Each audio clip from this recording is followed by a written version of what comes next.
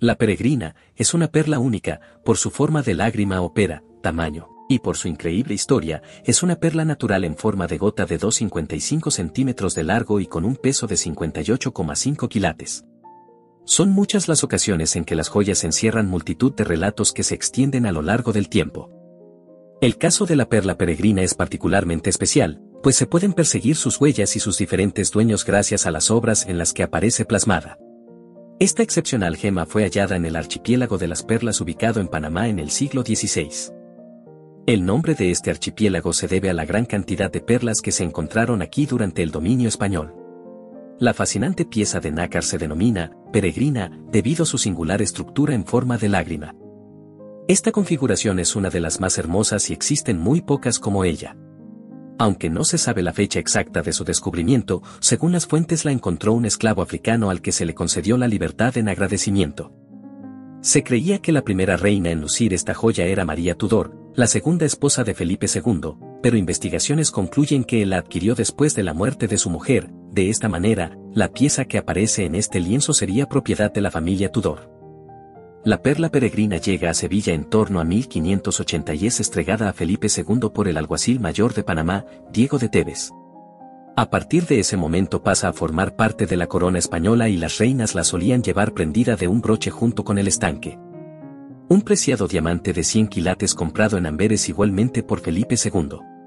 A este conjunto se le conocía como el joyel rico de los Austrias. El mismo fue el regalo de boda para la que sería su tercera esposa, Isabel de Valois.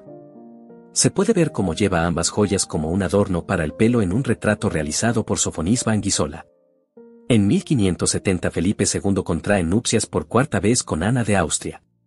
En esta ocasión se puede apreciar el joyel en varias obras. Dos de ellas llevan por autor a Alonso Sánchez Coello. Hacia 1551 la reina lo usaba en el pelo. Antonio Moro también realiza un lienzo de esta reina, donde podemos contemplar el estanque sobre un águila bicéfala, haciendo una clara alusión a su origen austríaco y la peregrina bajo este. Felipe III heredará la valiosa alhaja de su padre y cuando se casa con Margarita de Austria, ambos la lucirán en diversos retratos. Especialmente llamativos son los dos cuadros de los reyes a caballo realizados post-mortem que forman pareja. Pintados hacia 1635 por el taller de Velázquez.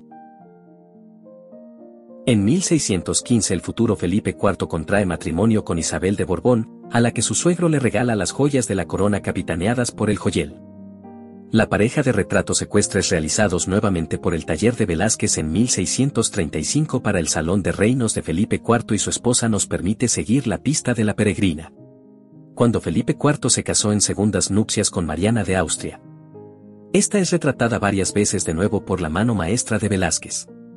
En uno de esos cuadros la reina lleva el magnífico joyel como adorno a su peculiar peinado. Tras ella, Carlos II se une a María Luisa de Orleans y la joya pasará a estar en poder de la nueva reina. Podemos admirar un retrato de cuerpo entero realizado por José García Hidalgo hacia 1679, donde el estanque y la peregrina resplandecen con luz propia sobre las ropas. Posteriormente las dos piezas se separarán, sobreviviendo la peregrina a la guerra de sucesión y al terrible incendio de 1734 en el Alcázar de Madrid. Una aparición estelar de la perla tiene lugar en el emblemático cuadro La familia de Carlos IV del maestro Francisco de Goya. Pues la reina María Luisa de Parma la lleva adornando su cuello. Así pues la joya permanece en España hasta 1808, cuando José Bonaparte se la envía a su esposa a París tras perder el trono español huye a Estados Unidos y se lleva a la peregrina con él. Cuando regresa a Europa la dejará en testamento al futuro Napoleón III, que la vende en torno a 1848. La pieza acabará en una joyería donde Alfonso XIII intenta recuperarla para regalársela a su futura esposa, Victoria Eugenia de Battenberg. Desgraciadamente no consigue llegar a un acuerdo, por lo que la perla vuelve a Estados Unidos y pasa a ser propiedad de varios multimillonarios americanos. Aunque parezca que ahí acaba su historia, la peregrina vuelve a entrar en juego en una subasta en 1969. Esta noticia causa una gran agitación en la Casa Real Española, participando en dicha subasta Alfonso de Borbón para conseguir la joya. Algunas fuentes cuentan que parte de la familia real intentó truncar la venta afirmando que la perla era falsa y que la auténtica se la había regalado Alfonso XIII a su mujer.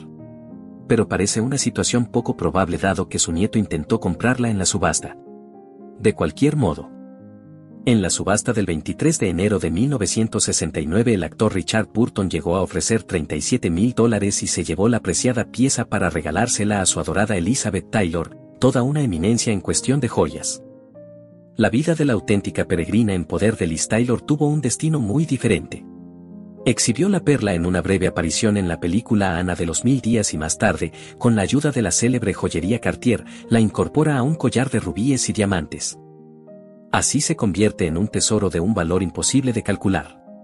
Permaneció en su poder hasta su muerte el 23 de marzo de 2011. En sus memorias cuenta una anécdota sobre cómo su perro mordisqueó la perla en una ocasión. Sea este suceso real o no. Lo cierto es que cuando las joyas de Taylor fueron subastadas en Christie's la peregrina alcanzó una cifra récord de 9 millones de euros. Fue adquirida por un comprador anónimo al teléfono. ¿Acabará aquí la extraordinaria historia de esta perla digna de reyes?